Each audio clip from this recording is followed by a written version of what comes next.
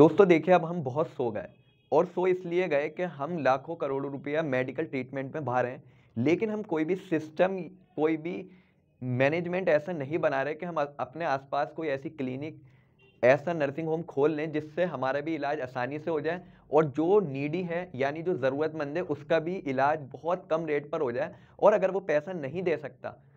तो उसका बेचारे का फ्री में ट्रीटमेंट हो जाए। देखिए दोस्तों, जब तक हम प्राइवेट सेक्टर पर या गवर्नमेंट हॉस्पिटल पर भरोसा करे बैठे रहेंगे और अपने इलाके में, अपने शहर में कोई ऐसा नर्सिंग होम नहीं खोलेंगे, देखिए पैसा तो वेस्ट हो ही रहा है। अगर अगर मैं आम एक मिसाल दूँ, एक आम बात करूँ तो हर आदमी को अगर कोई बीमारी होती है या उसका एक्सीडेंट होता है तो उसके दस से बीस हज़ार रुपये ऐसे खर्च हो जाते हैं।